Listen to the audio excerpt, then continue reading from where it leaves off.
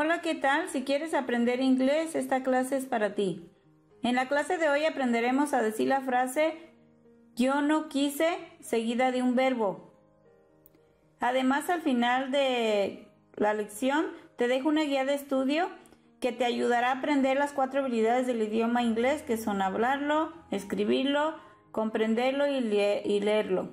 Si eres nuevo en mi canal, también puedes seguirme en mi fanpage que me encuentras con el nombre de English Progress. Algunas de las frases que aprenderás son no quise causar problemas. No quise confundirte. Ok, si estás listo para comenzar la lección, comencemos. No olvides repetir después de escuchar la pronunciación en inglés. No quise causar problemas. I didn't mean to cause trouble. No quise pensar que estuvieras involucrado. I didn't mean to think you were involved. No quise confundirte.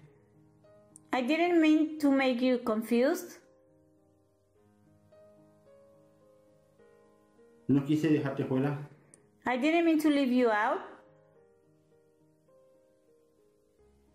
No quise decir esas cosas.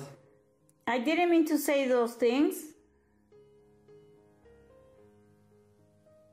No quise quedarme afuera tan tarde. I didn't mean to stay out so late. No quise avergonzarte. I didn't mean to embarrass you. No quise mentirte sobre lo que pasó. I didn't mean to lie about what happened. No quise llamarte tan tarde. I didn't mean to call you so late. No quise herir tus sentimientos. I didn't mean to hurt your feelings.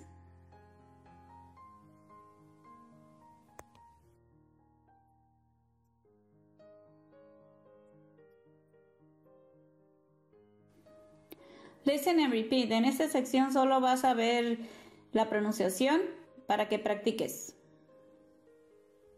I didn't mean to cause trouble.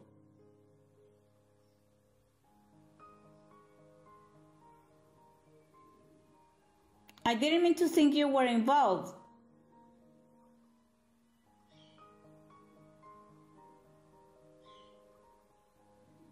I didn't mean to make you confused.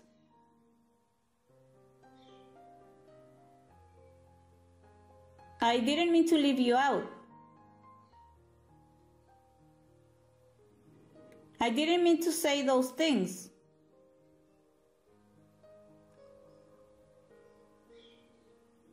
I didn't mean to stay out so late.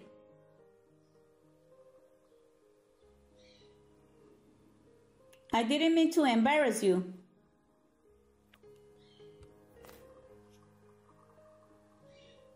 I didn't mean to lie about what happened.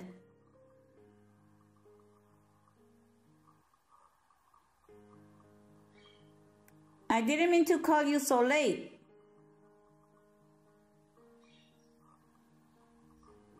I didn't mean to hurt your feelings. Aquí tienes las anotaciones de tu lección. Recuerda, rojo, pronunciación figurada en inglés y azul, cómo se escribe en inglés.